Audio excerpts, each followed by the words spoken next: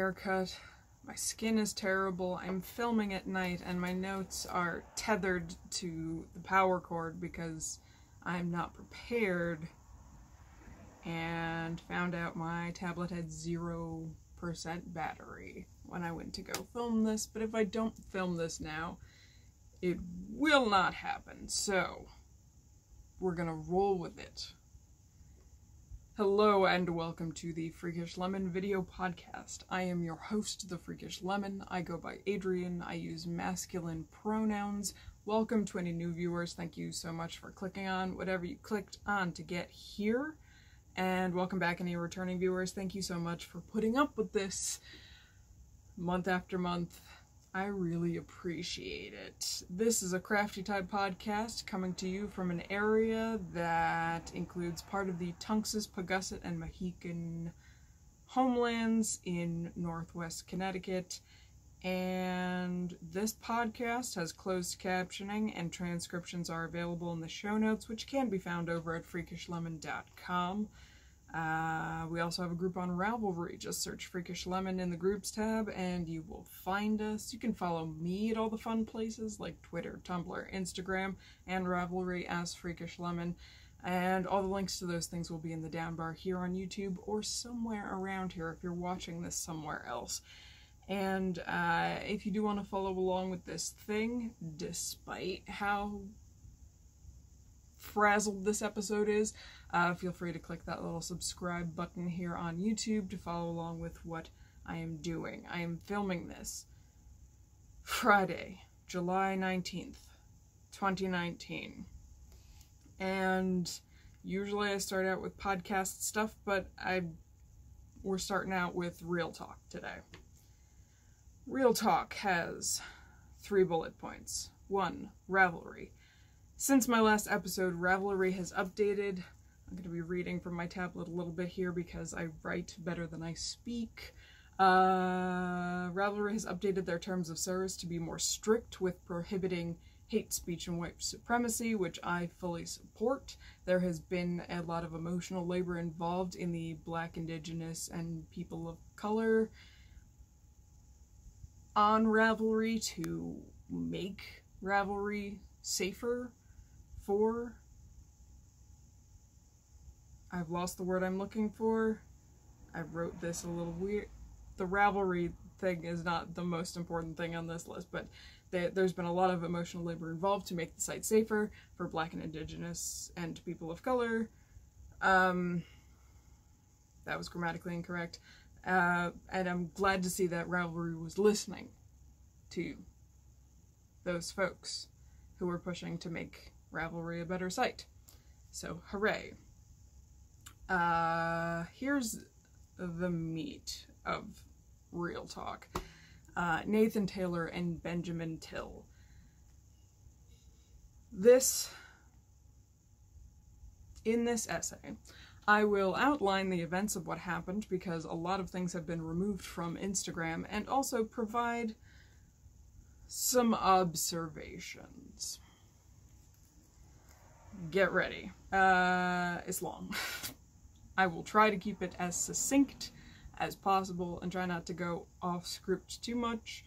Um, if I trip over myself, it's because I've written something grammatically incorrect and I'm trying to fix it in my brain and the brain is gone. Um, so, first thing, Nathan made a post last week uh, on Instagram tone policing black, indigenous, and people of color under the Diversknitty hashtag. Uh, when called out and educated on his post, Nathan closed comments and edited most of the text of that post. Sidebar bullet points. I posted about this on Instagram, but I saw a troubling amount of silence from white folks regarding his post. There was also an unsurprisingly large fan base supporting his tone policing. Uh, his post was damaging and irresponsible, but I was not surprised by it. Uh, Nathan is an openly gay man with HIV, which is not at the top of the privilege ladder, but he is a white, cisgendered man in an affluent country who, from what he presents to us online, does not live on or below the poverty line. Those are a lot of things that boost him closer to the top of that privilege ladder. I have seen him more than once equate his struggles as a gay man with the struggles of black, indigenous, and people of color, and non cisgendered folks. So it didn't surprise me when people pointed out how his words were harmful to black, indigenous, people of color in particular and provided resources for him to educate himself. He shut down the threat. Uh, there are screenshots of his original text of the post and of Nathan's and his husband's responses in the comments available on Instagram. Um, if you have not seen them and need to be directed, feel free to DM me. If I've got the brain space, I will point you in the right direction. If I don't already have those things in a highlight stories thing on my account back to the timeline. Benjamin Till, Nathan's husband, posted to Nathan's account saying that he had to be hospitalized and placed the blame on people calling out the racism in the prior post. He continued to engage and encourage racist behavior and language in the comments of that post. Benjamin then shut down his own Instagram account and had posted multiple times to an external blog which had included detailed graphic descriptions of his husband's mental breakdown and calls to action against black and indigenous people of color uh, who commented on Nathan's account, singling out specific Instagram users. Sunday, July 14th, 2019, Nathan made an appearance at Yarningham, Yarningham uh, Netting Festival in Birmingham, UK. If the festival information is wrong, but it is Yarningham is the festival. Uh, to sell books and teach workshops, which had been in contract prior to his inflammatory posts on Instagram. Uh, despite his recent hospitalization, when he was approached at the book table by a woman of color and asked questions about his post, he attacked her, had to be physically restrained, and had to be removed from the event.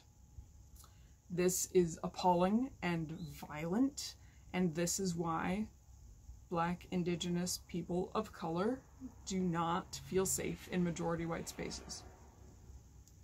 Uh,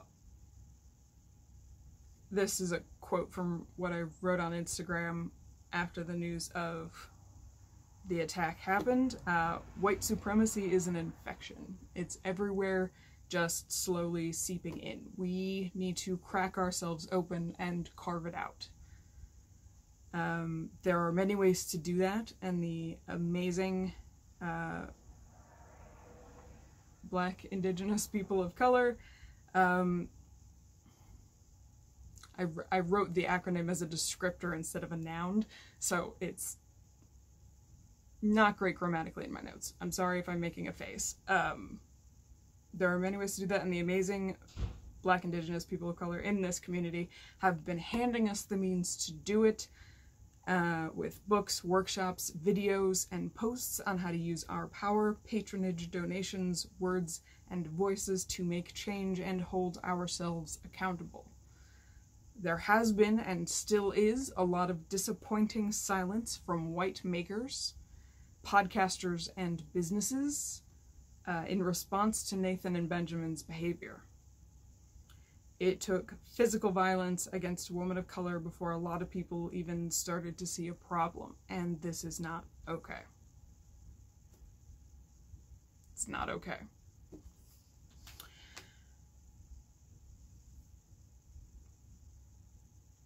Bullet point number three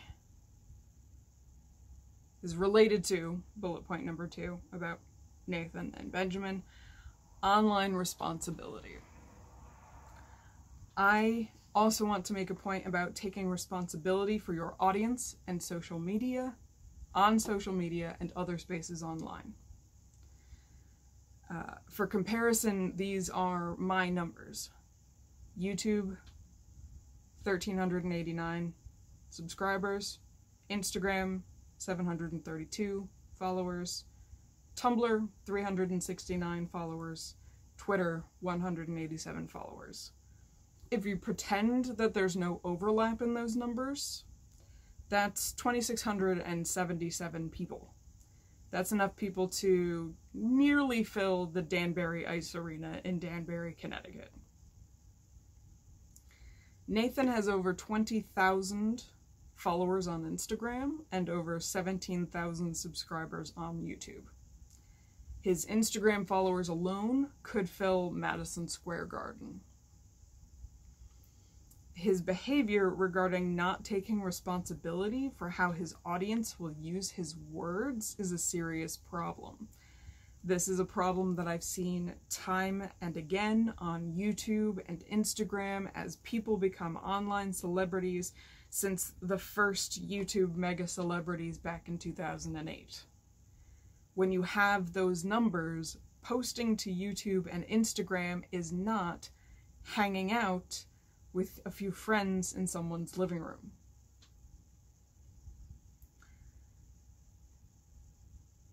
When you have my numbers, it's not just hanging out with a few friends in someone's living room. I know it feels like that when it's you and a camera, but it isn't when you have those numbers, anything you post is an announcement to a stadium full of people. It is so easy for that amount of people, even if each one saw the post or video alone, to mob, to jump to conclusions, to react in a way that they never would if someone said an ignorant or hurtful thing one on one. it's okay to make mistakes. Offhand Twitter comments and troublesome language is going to happen. When it's pointed out to you, feel your feelings in private and then stop to think about it. Reach out to people who are volunteering the emotional labor to educate you and if they are willing, discuss the situation with them. Admit your mistakes. Own that you messed up. And clarify your mistake and what you have learned from it. It is okay to change your mind on things. This is how we learn and grow.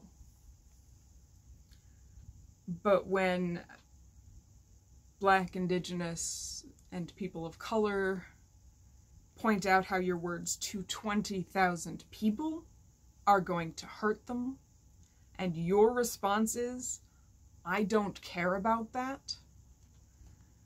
That is irresponsible, entitled, and damaging to the community that you insist that you are trying to improve.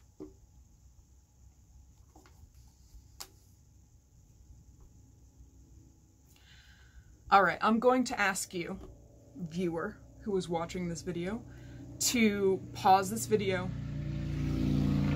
ignore that motorcycle, and feel your feelings about what I just said. Just feel your feelings. If you need to come back to this video tomorrow, turn it off. The crafting is still going to be here. But I think these are important things to consider and feel and acknowledge what emotions you're feeling when you listen to those words that I just said. And if you are confused by anything that I just said, feel free to ask me a question. Um, I'm not the quickest person to respond to comments, but I usually eventually respond to comments. So when you're ready, come back. We'll start talking about the crafting. I'll drink some water because it's hot.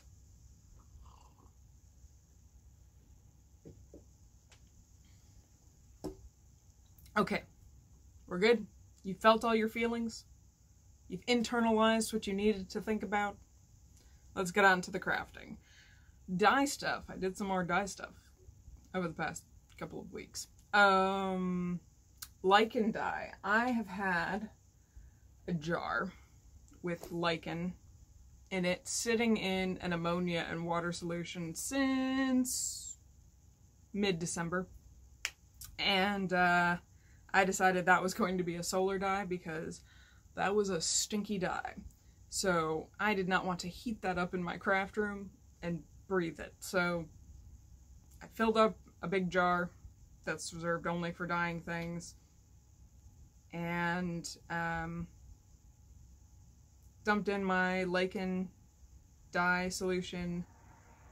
I did an 8% alum fixative on my fiber samples and left it in the sun for about a week. And these are what they look like. As per usual, the wool took color really well. It's kind of soft yellow.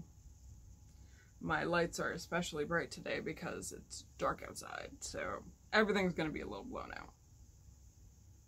We're going to deal with it. Uh, the cotton is slightly yellow, but not a whole lot. And then the cotton and linen are just kind of off-white, uh, which is not unusual for natural dye samples. I apologize if my face gets more red as we go because it is hot and my fans are on low so that you do not have all the ambient noise in the world Because there's no air conditioning in this bedroom. I also had going a purple basil dye. I have been growing purple basil, or it's called red basil, I'm not sure. And I read somewhere you could die with it, so my poor little purple basil plants have been being eaten by bugs, so most of what I've been harvesting is not the best for consumption. So I've been saving it. I put a bunch of it into a jar about 50 grams of it into a jar with some water, put it in the sun for about a week, um, did the 8% alum fixative on the fiber samples. I only did the yarns. I did a, a BFL and a cotton yarn um, just because I didn't think I was going to get very much color out of that purple basil. Um, so let me show you the wool first. This coloring right here is not from the basil. I was reclaiming some yarn from some old projects that I wasn't using very much and uh, one of the yarns bled onto this while they were drying on my drying rack. So that little bit of reddish color there is from another skein of yarn. It's mostly this kind of green gray, which is interesting. And then this cotton yarn has faded a bit, but it was more of the lightest, lightest lavender. Um, and these lights are pretty blue, so I don't know if it'll show up at all, but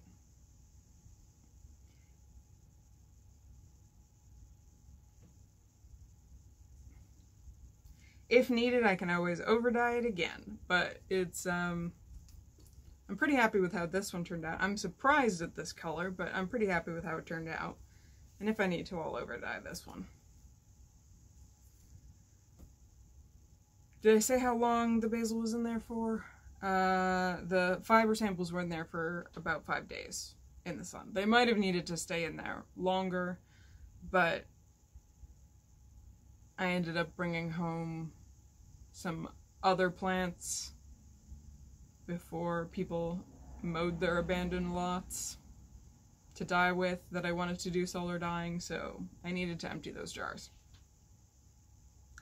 I also did some eco printing, which was pretty cool. Um, better results this time than last time. I used the same fabric that I used last time because nothing really showed up on it at all. Um, So, what do I need to say about? I didn't do any fixative on this fabric this time around. I used oak leaves, maple leaves, ferns, sumac leaves, and sumac berries, some Queen Anne's lace, and sprinkled some calendula petals as my eco printing materials. And most of those things have tannins in them that will fix a dye. Uh, I used two, I think they're two yard cuts or yard and a half cuts of um,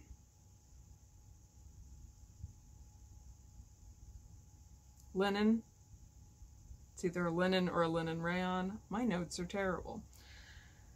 Uh, I gotta go through my note notebook. I wrote my show notes from what I could remember. Um, so I did two of those samples at an equal number of plant types in each one. I folded one up into like a cube and I rolled one up as a cylinder. So the one I folded up into a cube is this one. And this one I I wet the fabric, put the plant stuff on it, folded it up into a cube, and then I put it into a tea dye solution. I used 12 tea bags of English breakfast tea and got this lovely dark. It doesn't look dark on camera because my lights are so bright, but you can see the fold lines there. Um, but I did get some black and gray dye impressions. They're not very clear impressions. Are there any on this one where you can tell where the leaves are? Oh, there's a leaf. I found a maple leaf. They're not very clear impressions, especially since like the sumac berries, I just kind of like chopped them off the cone thing and just like let them fall where they will. I wasn't really careful about this at all. So a lot of stuff shifted around. Um, but it is a pretty cool fabric to look at. I will be taking a lot more um, photos of the interesting impressions on this fabric um, when I find the time. Um, but that was successful. I'm pretty pleased with how that turned out. And then I did the cylinder one in a coffee dye bath. I did 50 grams of ground coffee that I got at Ocean State Job Lot. It was nearing its expiration date when I bought it, but I wasn't going to be drinking it, so I figured I might as well take that one home. And this one, the impressions are clearer. You can see there's a leaf, a maple leaf, and you can see where individual sumac berries fell. Um, For this one, it's like the concentration of the tannins was darker, but the coffee dye was lighter, which is interesting. Um, and something to keep note of for the future. And my show notes fell asleep. Um, and this piece of fabric is much more symmetrical than the other one because of the rolling.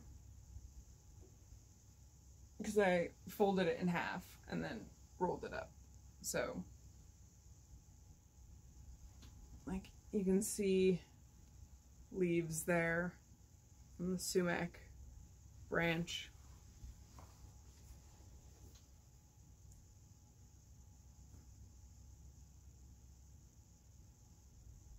Yeah, anyway looks like ink everywhere. Um, which is really interesting and was really cool to do. Um, probably something that I will sporadically experiment with. Um, but I don't know.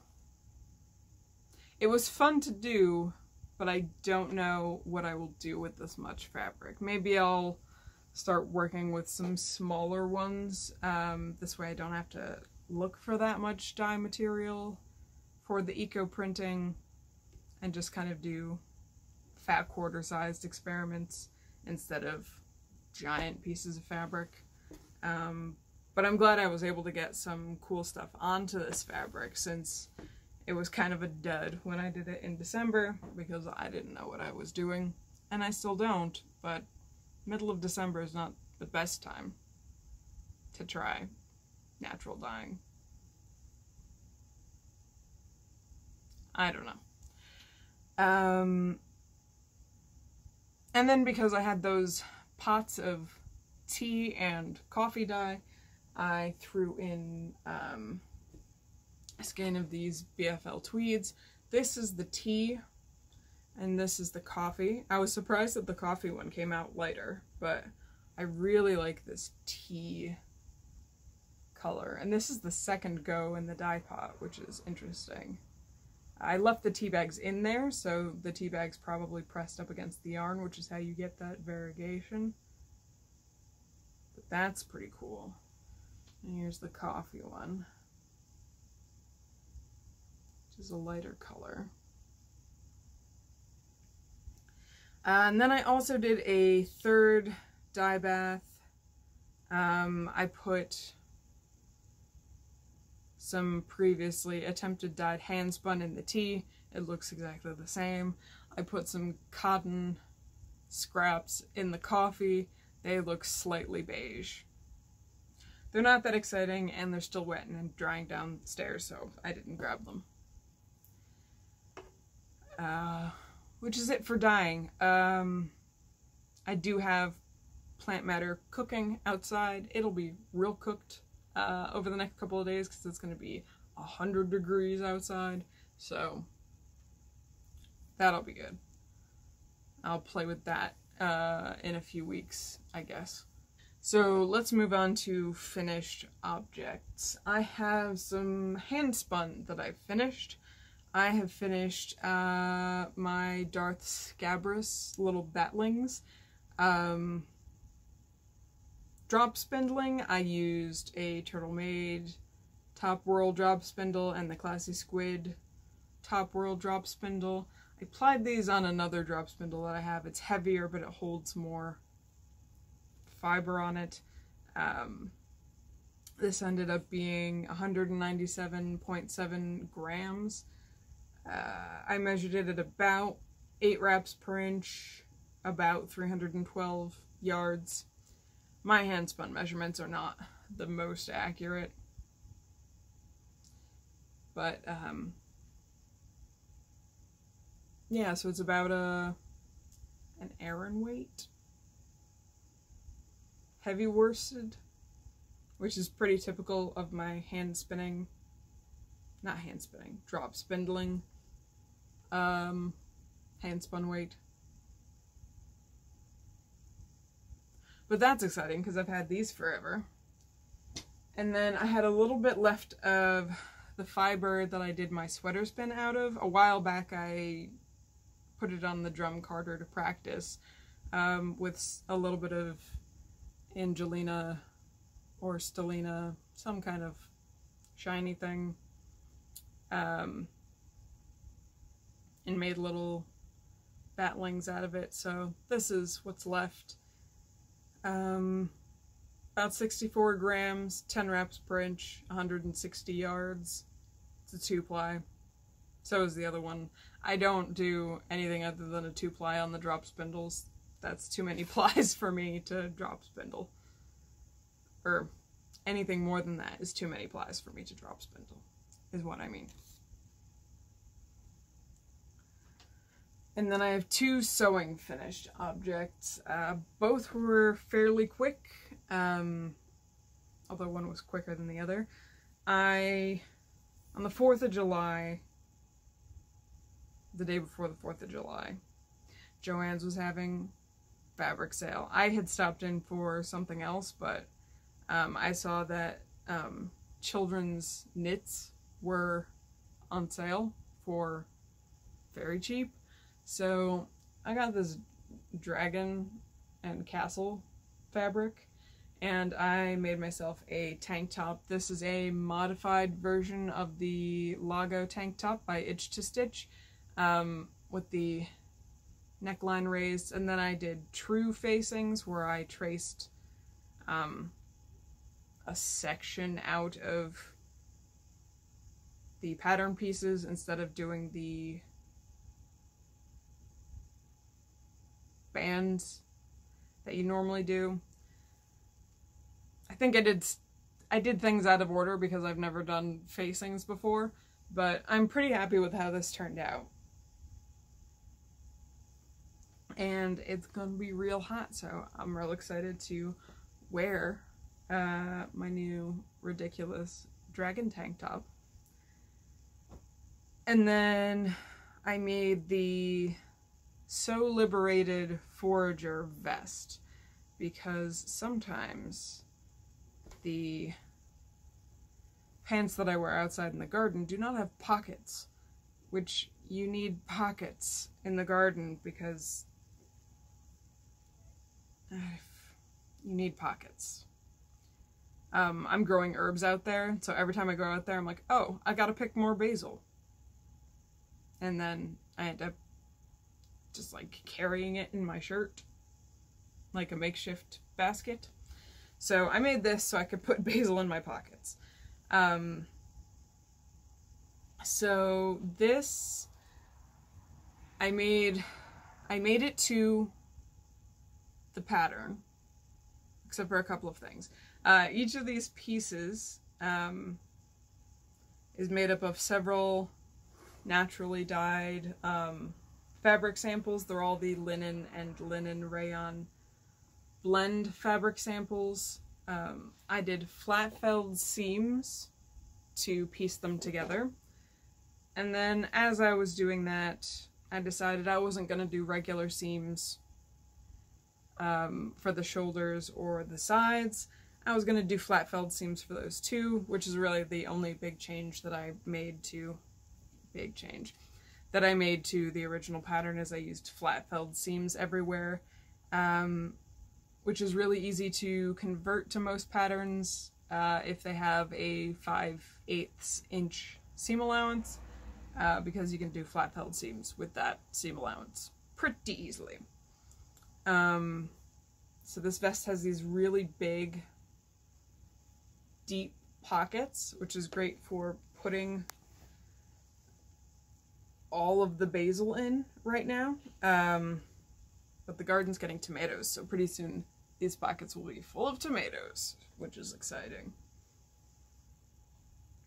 Uh, yeah, it's very handy to throw on to go outside with the dog. Um, so I can carry my phone and my keys with me to take the dog out without having to put on actual like jeans if it's first thing in the morning. Very useful. I will get a lot of use out of this and I'm very pleased with how it turned out. On to works in progress. There's not a ton to talk about here. Uh, it's been a lot of not doing things or doing very small amounts of things, but I have made a little bit of progress to talk to you about.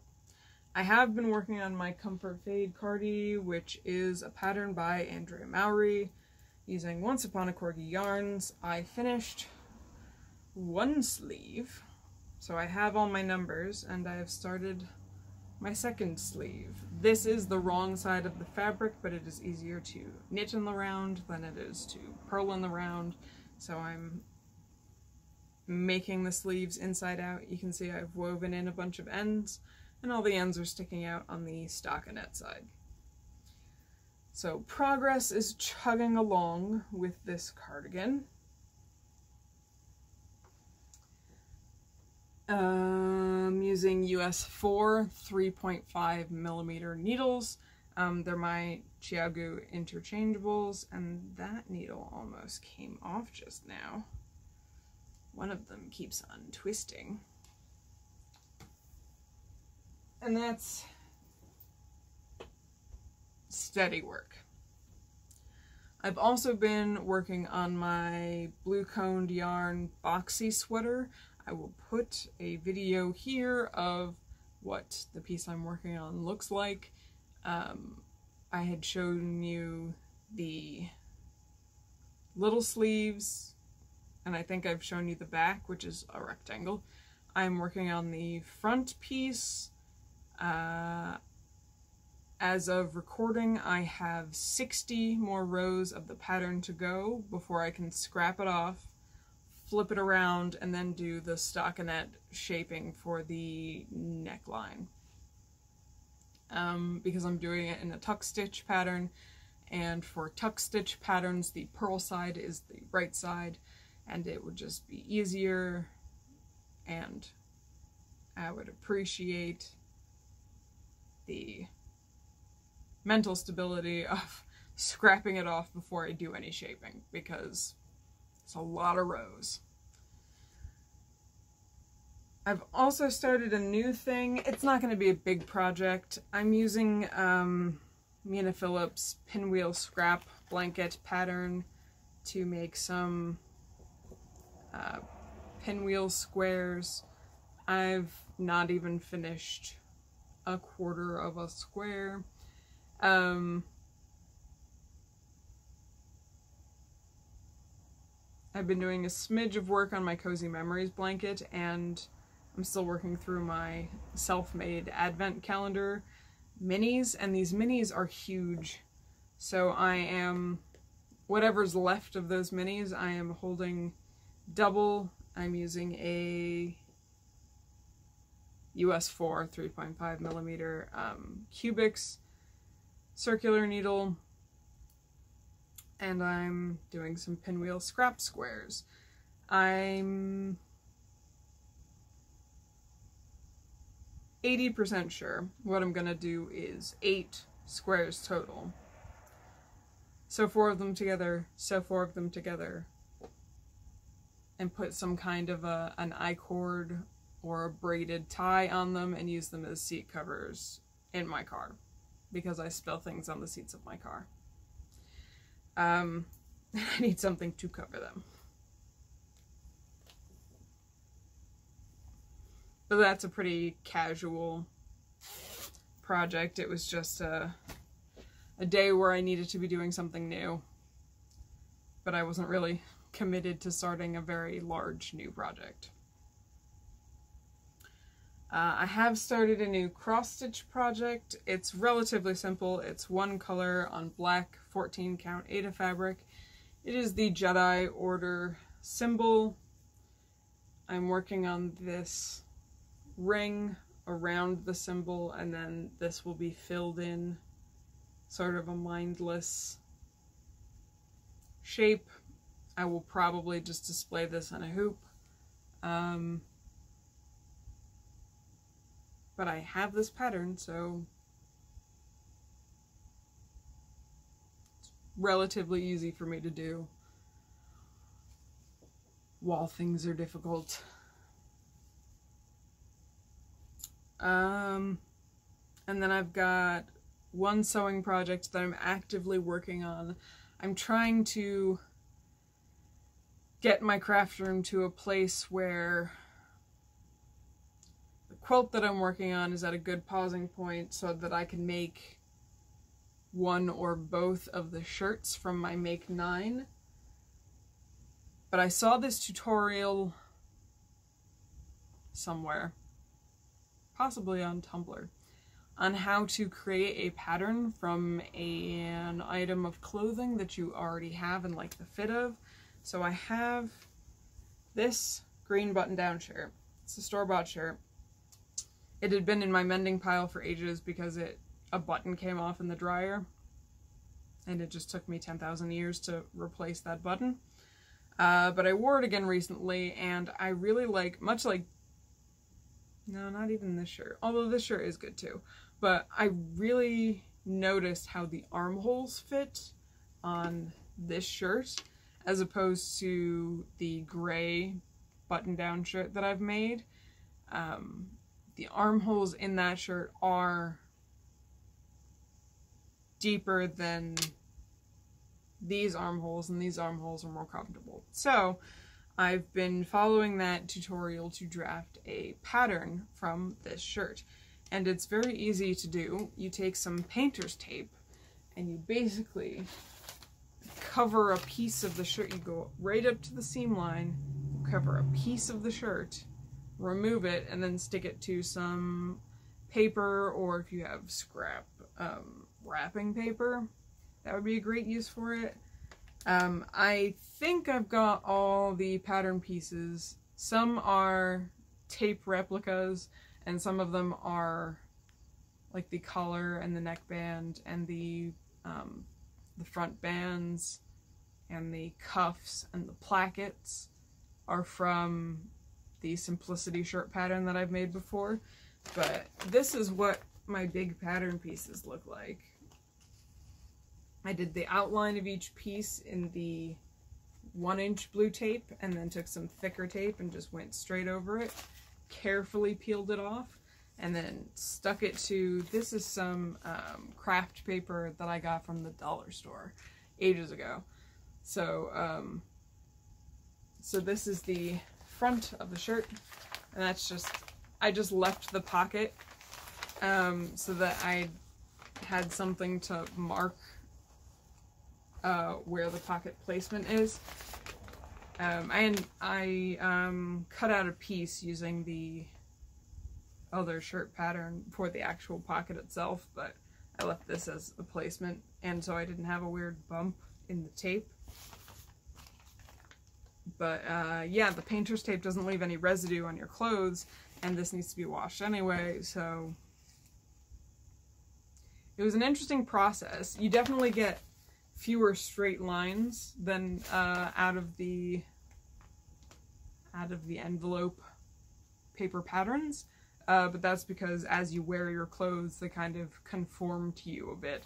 So, um, so yeah, like this edge is not straight, but neither is my body. So we'll see how that goes. I'll do one shirt using um, these pattern pieces, see how it fits at the end.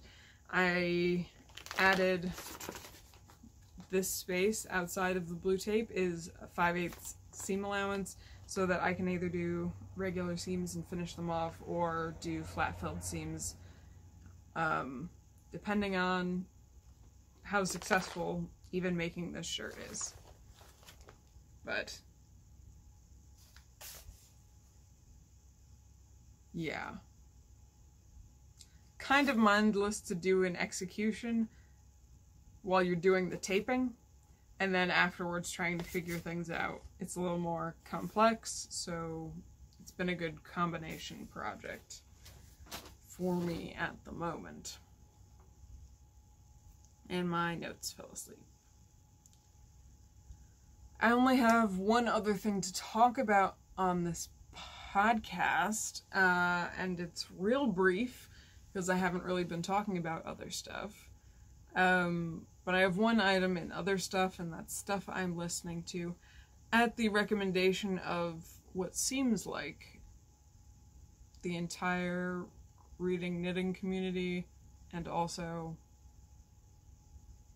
every everyone in my real life and my mother uh, has been reading the Court of Thorns and Roses series by Sarah J. Maas. Um, so I joined a new audiobook service. It's called Audiobooks Now. Um, I wanted to try something different than Audible because I don't think Amazon needs my dollars. Um, but I was trying it out figured might as well get that book and listen to it. Um, it was good. It didn't wow me. There was a huge stretch in the middle listening to it that was the most boring thing in the world. Um,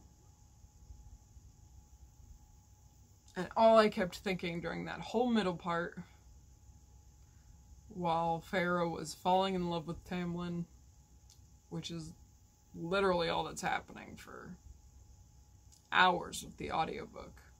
Probably five hours of the audiobook.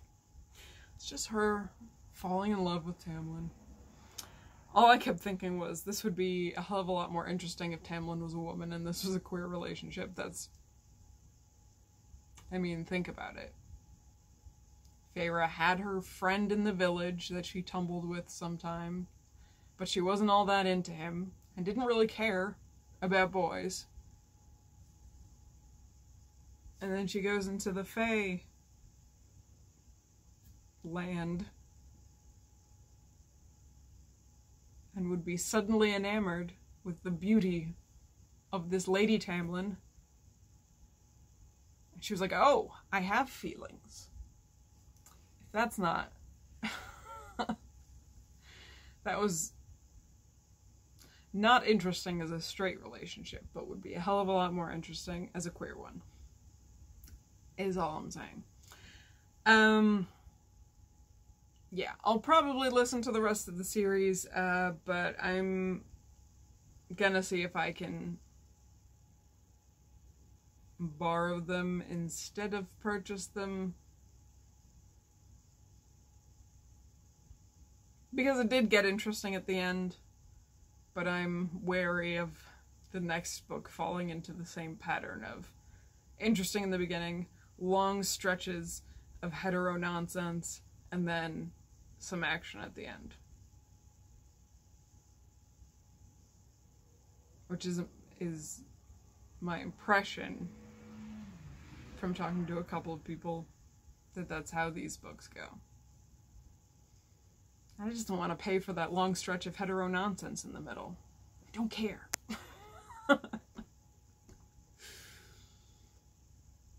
Yeah, but that's gonna do it for this episode. I don't know when the next episode will happen. There is some family stuff going on at the time of filming right now, and I don't know how things are going to shake down in the next coming weeks.